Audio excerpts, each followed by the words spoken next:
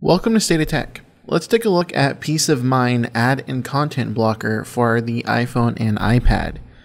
Now I'm going to go and open this up and this is just where we're going to edit the settings and preferences for our ad blocking. We're actually going to have to go into the settings to enable this, which I'm going to show you how to do. And then we'll also take a look at the comparison of loading a web page with Peace of Mind enabled and then with Peace of Mind not enabled. So right here in this section, we have up at the top, we have soft, medium, and hard. That's going to be the strength of our ad blocker. Soft is just going to kind of do a general lower end blocking, where hard is going to be more of scrutinizing everything on the page. Down below, we have our ad blocker, media blocker, and privacy blocker. So the ad blocker option is obviously going to prevent ads from being loaded. Media will go ahead and prevent media from being loaded. And privacy are going to be the tracking mechanisms from websites. So all I have to do is just tap these on and they're going to be enabled and it's also going to coincide with the rules up here, the soft, medium, or hard. And I can always hit these information buttons to go ahead and give me a little bit more detailed information about what this is going to do. So for example, ad blocker, if I tap on that information button, it'll go ahead and pop up and show me what's being blocked. Now, Peace of Mind also allows me to whitelist specific websites. What this does is it tells Peace of Mind not to run any sort of blocking protocols whenever I visit a specific site. So all I have to do is hit this plus button in the top right hand corner. Let's go ahead and add in State of Tech.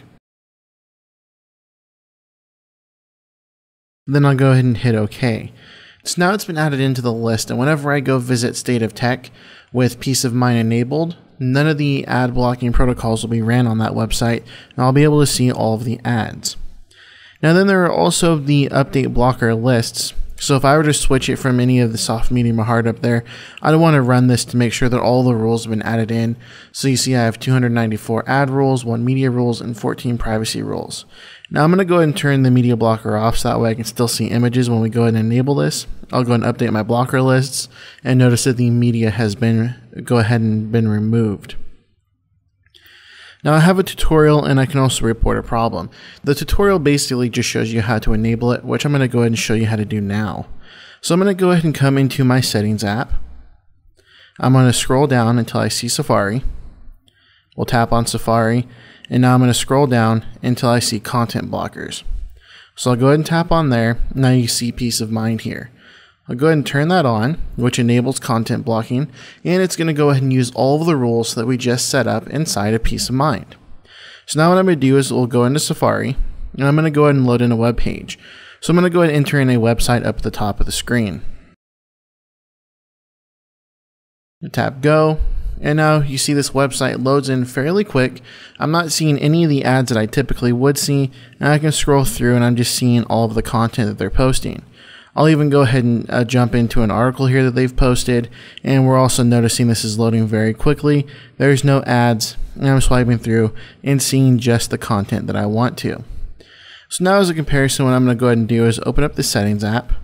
We're going to disable peace of mind and then jump right back into Safari and you can see what the difference is. So now we're going to go ahead and refresh the page and notice now that we have ads popping up here at the top of the screen. The overall page itself is taking a little bit longer to load in and as I swipe down I'm seeing a little bit more things going on here than I would have. And let's jump into that same article that we just saw. So I'll jump into that article Notice now it took a little bit longer to load. And now I have ads at the top of the screen. And as I scroll through the article, I have this giant ad displaying right here that almost takes up the entire web browser. But now check this out. We'll go ahead and come back into the settings. We'll enable peace of mind. And now we'll jump back into Safari and we'll go ahead and reload this web page.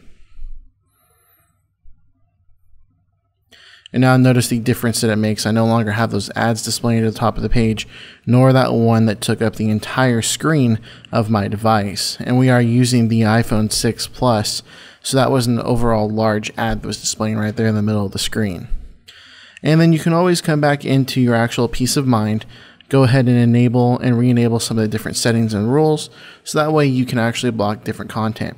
So if I were to add in the media blocker, we'll go ahead and update our blocker lists. Now I see the media rules are in there as well. Let's go ahead and come back into the web page. Being that it's still enabled, we'll refresh it.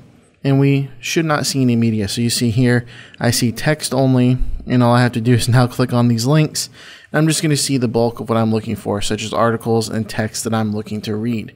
And so always remember, if this is not something that you want to see, come back in. Let's go ahead and disable the media blocker. We'll update our lists. We'll come back into this web page, reload it, and we should see all of the rich media that we're looking for without any of the ads. So once again, this application is called Peace of Mind Ad Blocker. If you like it, pick it up in the App Store for your iPhone and iPad.